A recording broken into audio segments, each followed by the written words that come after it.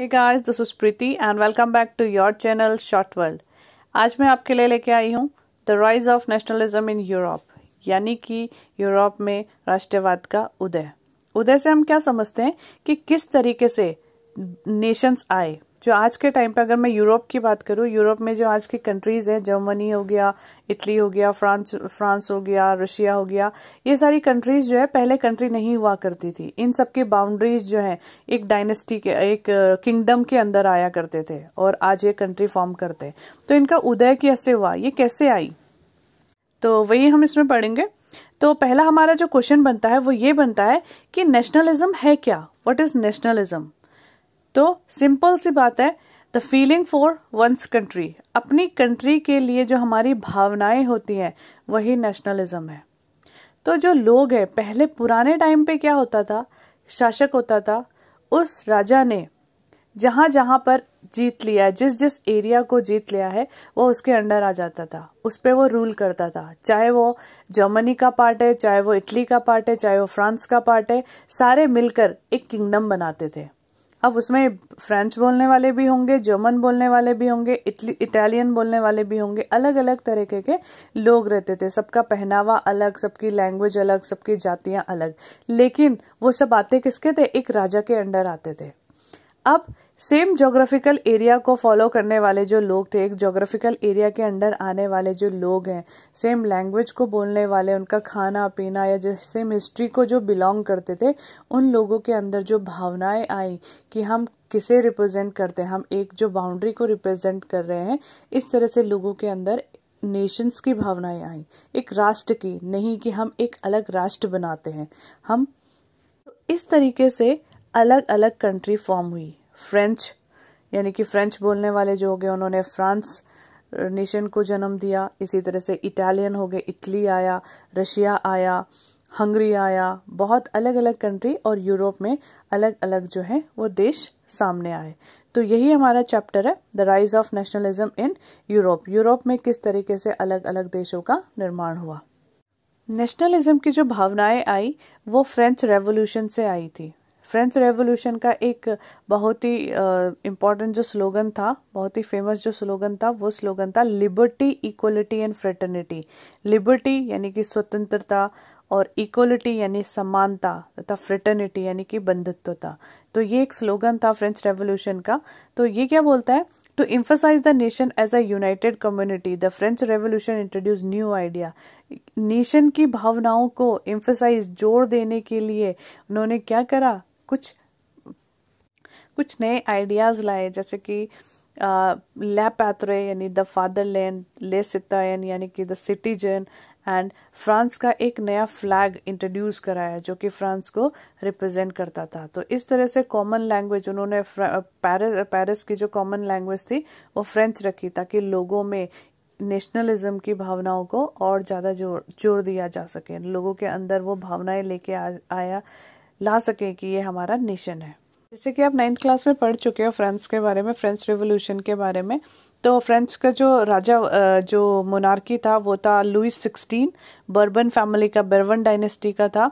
तो किस तरीके से वहाँ पर ये ऑटोक्रेसी को ख़त्म किया गया और उसके लिए जकोबिन क्लब बना था, यंग इटली जोसेफ मिस्तिनी जो थे, उन्होंने बहुत सारे जो रेवोल्यूशनरीज थे, उन्होंने काम किया और फ्रांस को एक कॉन्स्टिट्यूशनल गवर्नमेंट में कन्वर्ट करा। उसके आगे हम चैप्टर में पढ़ेंगे Napoleonic code Napoleonic code of 1805 1804 इसे नेपोलियन संहिता भी कहा जाता है हिंदी में।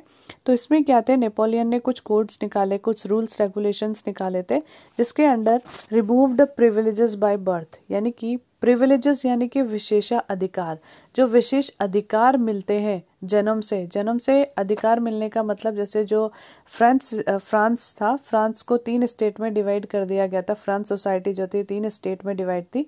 First state second state third state first state में आते थे जो चर्च के लोग होते थे या चर्च के पादरी जो होते थे, वो लोग आते थे सेकेंड स्टेट में नोबल पर्सन आते थे, यानी कि क्लीन जो अपर क्लासेस वगैरह होती है, और थर्ड स्टेट में पीजेंट्स आते थे, किसान, मजदूर, ये लोग आते थे।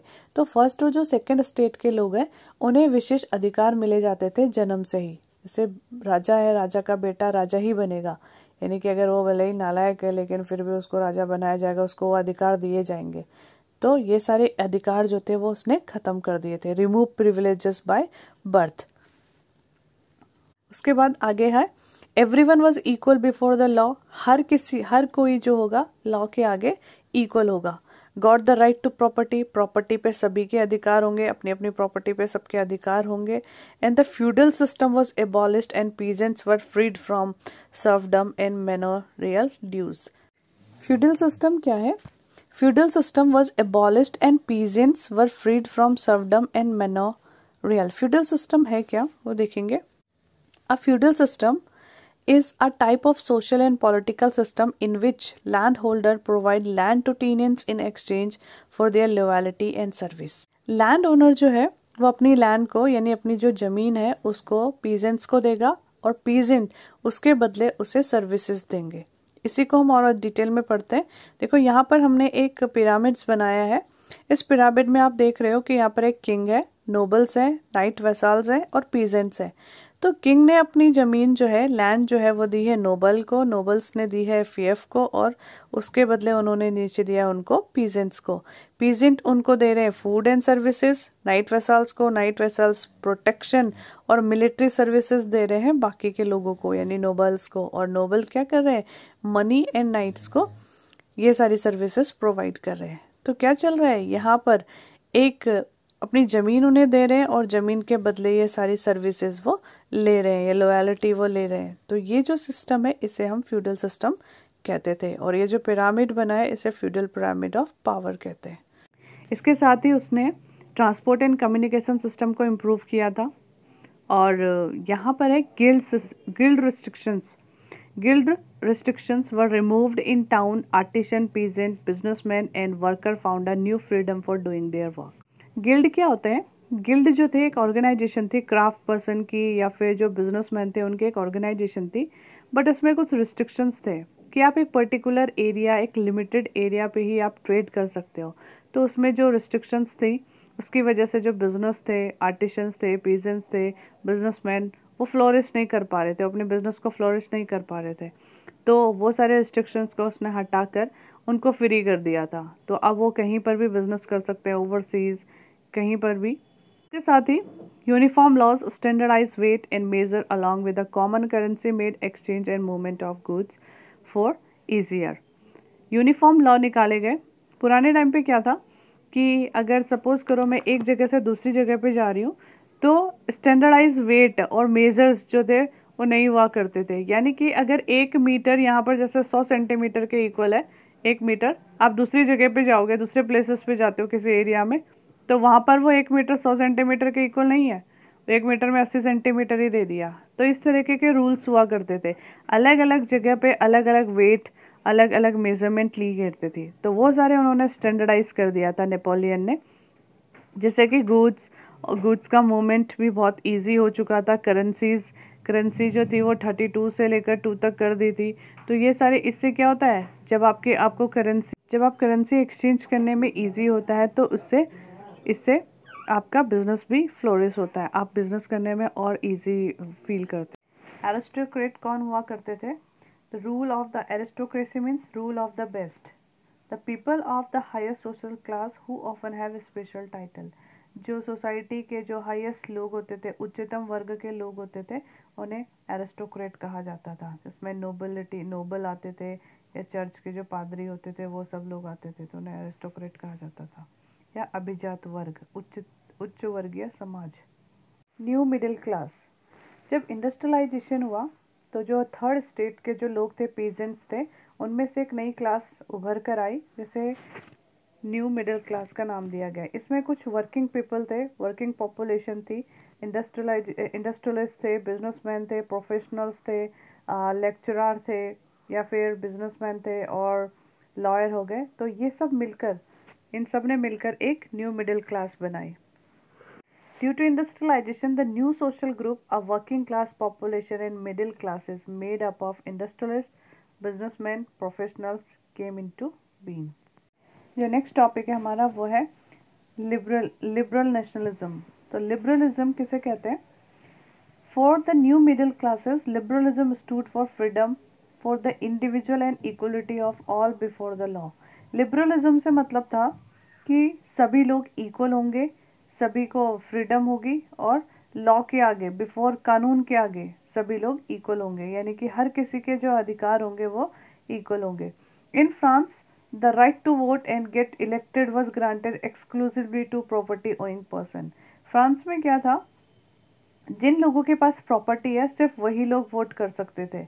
बाकी जिसके पास प्रॉपर्टी नहीं है, चाहे वो मेन है या वुमेन है, उनको वोटिंग का अधिकार नहीं दिया जाता था।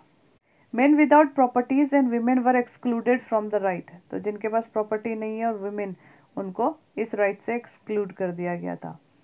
In the economic sphere liberalism stood for the freedom of market in the abolition of a state imposed restriction on the movement of goods and capital liberalism की बात, अगर मैं इकोनॉमिक स्पेयर में किया जाए इकोनॉमिक्स में किया जाए तो मार्केट की फ्रीडम को लिबरलिज्म कहा जाता है या मार्केट में यानी कि जो बिजनेसमैन है जो ट्रेडर्स हैं वो बिना किसी रिस्ट्रिक्शंस के गुड्स को अपनी कैपिटल्स को यहाँ से वहाँ मूव कर सके इजीली मूव कर सके In 1834, a custom union or Jolverein was formed which abolished tariff barrier and reduced the number of currencies from over 30 to 2. तो एक कस्टम यूनियन जोलवेरेन आया, ये नेक्स्ट टॉपिक होगा हमारा। तो उसमें ये जो यूनियन था, इसने बहुत सारे जो बैरियर्स थे, इन सबको हटा दिया था, जिसकी वजह से जो मूव करना था, एक जगह से दूसरी जगह ट्रेड करना ईजी हो गया था। जोलवरिन जोलवरिन एक कस्टम यूनियन था वो इसलिए बनाया गया था ताकि जितने भी ट्रेड बैरियर्स हैं, यानी कि टैरिफ जो हैं, उन सबको ख़त्म किया जा सके, उन्हें रिड्यूस किया जा सके, जितने भी ट्रेड में रिस्ट्रिक्शंस होती हैं, उन सबको बंद किया जा सके, ताकि गुड्स एंड सर्विसेज़ एक जगह से दूसरी जगह मूव किया जा सके। ये 1834 में बना था। ये जो इनिशिएट करा था प्रोशिया ने इनिशिएट किया था, और इसमें जर्मन के काफ़ी स्टेट्स थे। जर्मन के मोस्ट ऑफ़ द स्टेट्स इसमें इन्वॉल्व थे। ऑस्ट्रिया इसके अंदर नहीं था एक्सक्लूड था। ऑस्ट्रिया इसके अंडर नहीं था। तो इसलिए बना था ये कस्टम यूनियन ताकि ट्रेड्स में हमें इजी हो सके। एक जगह से दूसरी जगह सामान का आना जाना इंपोर्ट एक्सपोर्ट वो इजी कर सके। दूसरा इसका जो मेन मोटिव था वो ये था कि जो 32 करेंसीज चल रही थी, उन 32 करेंसीज को कम करके रिड्यूस करके सिर्फ़ दो करेंसी रह गई थी। क्या होता है जब अगर करेंसी ज़्यादा से ज़्यादा करेंसीज होंगी तो हम एक्सपोर्ट और इंपोर्ट करने में प्रॉब्लम्स होंगी। बहुत सारी दिक्कतों का सामना हमें करना करा करना पड़ता है। जैसे सपोज़ करो हम फॉरेन कंट्री के साथ डील कर रहे हैं एक्सपोर्ट कर रहे हैं या इंपोर्ट कर रहे हैं तो हम जब फॉरेन करेंसी और इंडियन करेंसी के साथ जब एक्सचेंज uh, करने में थोड़ी बहुत प्रॉब्लम्स क्रिएट करनी पड़ेगी उन्हें कन्वर्ट करना करेंसी कन्वर्ट करना ये करना।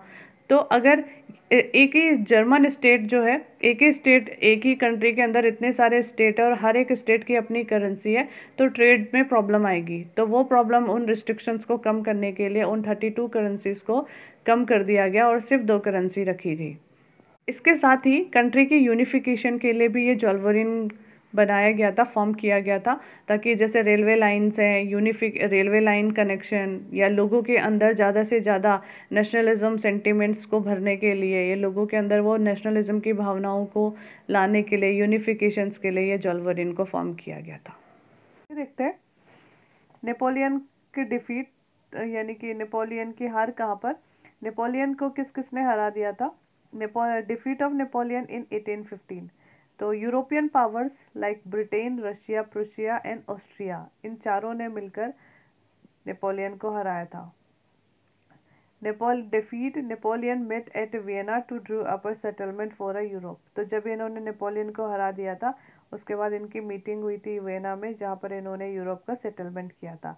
किसको कितना पार्ट मिलना चाहिए, कौन सा एरिया किसके उसमें आना चाहिए, ये सारे सेटलमेंट्स किए थे इन्होंने वियना ट्रीटी में। यानी कि ट्रीटी ऑफ़ वियना कब हुई थी? 1815 में हुई थी और इसके जो इसके इसको जो होस्ट किया था वो किया था ऑस्ट्रियन चांसलर ड्यूक मेटरनिक ने। तो ड्यूक मेटरनिक थे ऑस्ट्रिया के चांसलर थे उन्होंने इसे होस्ट किया था और ये ट्रीटी थी ट्रीटी ऑफ़ वियना ऑफ़ 1815 तो इस ट्रीटी के जो मेजर पॉइंट्स थे वो क्या थे? Major points of the treaty of Vienna the Bourbon dynasty, which had been deposed during the French Revolution, was restored to power. जो बर्बन डायनेस्टी थी उसको जब हटा दिया था फ्रेंच रेवोल्यूशन के टाइम पे उसे दोबारा से ला दिया गया। यानी कि दोबारा से बर्बन डायनेस्टी का अब शासन होगा। France lost the territory in it it had annexed under Napoleon Napoleon के टाइम पर जो फ्रांस ने अपनी टेरिटरी को बढ़ा दिया था यानी कि अपनी बाउंड्रीज को बढ़ा दिया था वो फिर से हट गई हैं। A series of states were set up on the boundaries of a France to prevent its expansion in future.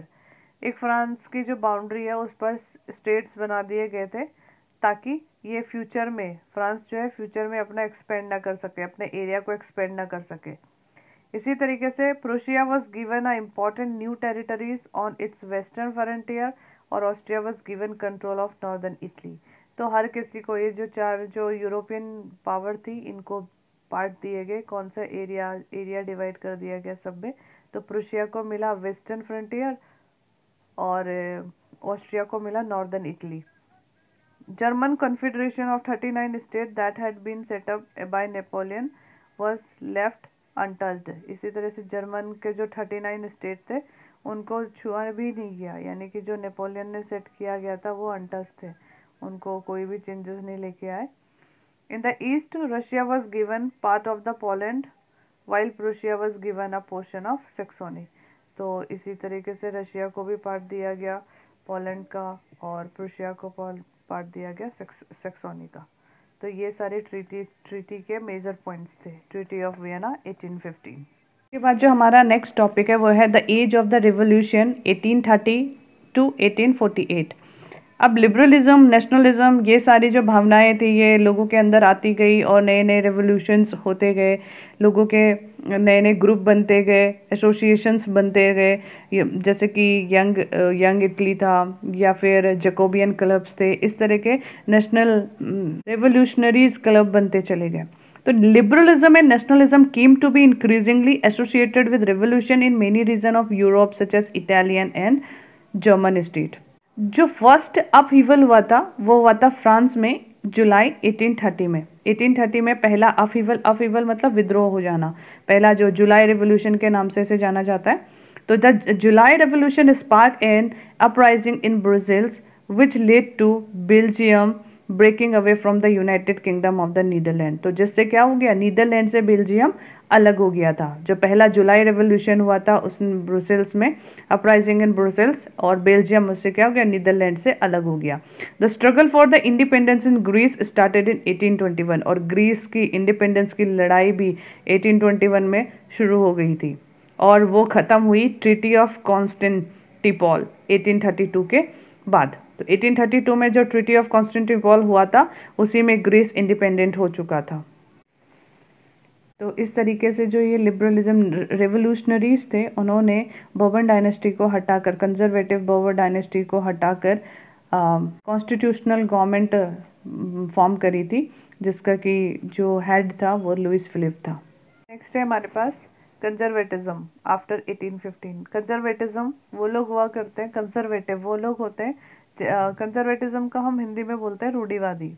ये रूढ़ीवादी वो लोग होते हैं जो कुछ चेंज नहीं लाना चाहते हैं। यानी कि जो पुरानी आस्था, पुरानी परंपरा, पुराने जो रीति रिवाज होते हैं, उन पे बिलीव करते हैं।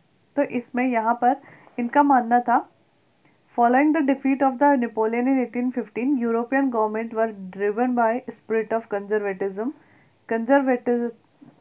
conservative believe that established traditional institution of state and society like the monarchy, the church, social hierarchies, property and the family should be preserved. तो जो पुराने ये चाहते थे कि अभी ये जो हम कॉन्स्टिट्यूशन कॉन्स्टिट्यूशन बनने के लिए बातें हो रही थी वो सब ना होकर जो बर्बन डायनेस्टी थी बर्बन डायनेस्टी जो पहले हटा दी गई थी वो फिर से रिस्टोर कर दी गई तो यहाँ पर वो बर्बन डायनेस्टी की बात कर कि जो पुराने जो ट्रेडिशनल मोनार्की वगैरह है उनको रिस्टोर कर देना चाहिए प्रॉपर्टी राइट्स होने चाहिए। तो ये वो लोग थे जो नेपोलियन के कुछ चेंजेस को तो पसंद कर रहे थे, लेकिन फिर भी वो चाहते थे कि मोनार्की दोबारा आ जाए। नेक्स्ट टॉपिक है the emergence of the nationalist feeling जो नेशनलिस्ट फीलिंग है, जो फीलिंग्स आती है, देश की भावनाएँ हैं, वो किसी, सिर्फ़ वॉर से ही नहीं आई। ये कहना था कि वो सिर्फ़ वॉर से ही नहीं आई। The development of a nationalism did not come about only through war and territorial expansion कि हम अपने टेरिटरीज को आगे बढ़ा रहे हैं एक्सपेंड कर रहे हैं और वॉर कर रहे हैं। सिर्फ़ वही हमारे देश के लिए काफ़ी नहीं था, वही नेशन क्रिएशन के लिए नेशन के क्रिएशन के लिए इंपॉर्टेंट नहीं था। बल्कि कल्चर जो था कल्चर संस्कृति जो है, वो भी एक इंपॉर्टेंट रोल प्ले करती है नेशनलिज्म में। तो culture played an important role in creating the idea of the nation art poetry stories music help expression shape the nationalist feeling तो ये सब चीज़ों ने जितने भी आइडियाज़ थे, ये सारे जितने भी, ये म्यूज़िक हो गया आर्ट हो गया पोइट्री हो गया, ये स्टोरीज़ हो गया, इन सबने नेशनलिस्ट फीलिंग को जगाने में बहुत हेल्प करी।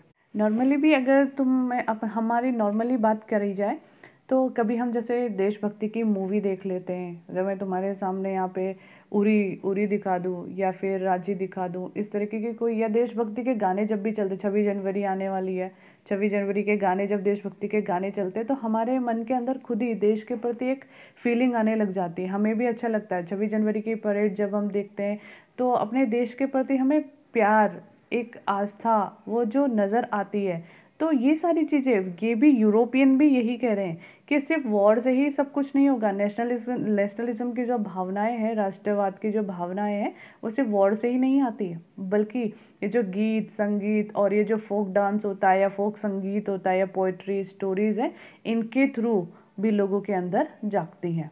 इन्हीं के थ्रू लोगों के अंदर जागने के अलावा दूर दूर तक पहुँच रही है। यानी कि जो संगीत है, संगीत के थ्रू या पोएम के थ्रू लोग के, लोगों में दूर दूर तक जो आम आदमी है, उनको भी समझ में आ रही है। जिनको बाकी लैंग्वेजेस समझ में नहीं आते या पढ़ना लिखना नहीं आता है, वो इन कहानियों के थ्रू भी नेशनलिज्म को फील कर रहे हैं।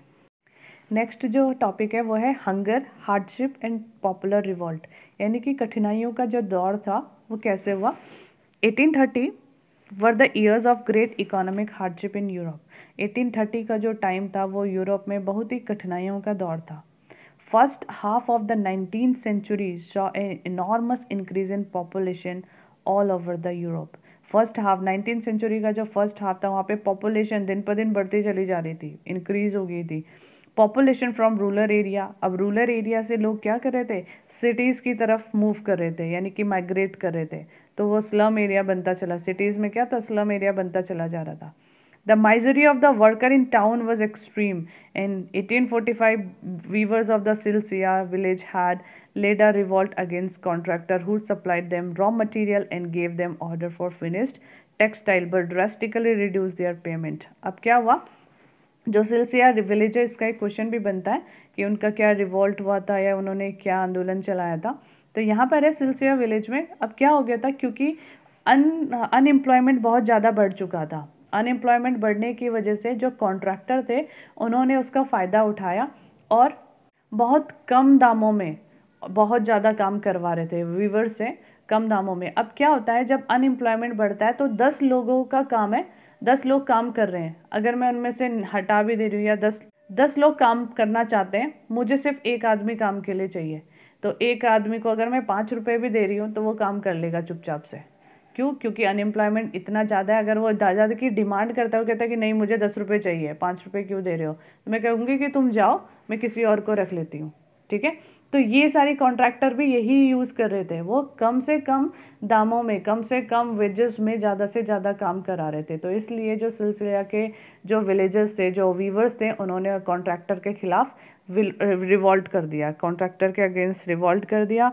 जिससे कि रिवॉल्ट करने पे उन्होंने on fourth June at two P M a large crowd of weavers massed in pair up to the mansion of their contractor demanding higher wages they were treated with scorn and threat जब उन्होंने demand करी high wages की तो contractor ने army की help से उन्हें बहुत मारा, पीटा और इस तरीके से 1848 में food shortage and widespread unemployment brought the population of Paris out of the road out on the road तो इस तरह से 1848 में जो शॉर्टेज फ़ूड की शॉर्टेज अकाल पड़ने लग गया, भूखमरी फैलने लग गई अनएम्प्लॉ अनएम्प्लॉयमेंट यानी बेरोजगारी जब बढ़ गई, बहुत ज़्यादा बढ़ गई तो पेरिस पे सारे लोग रोड पे आ गए। उन्होंने बैरिकेड्स तोड़ दिए लुइस जो फिलिप लुइस फिलिप जो था वो भाग गया।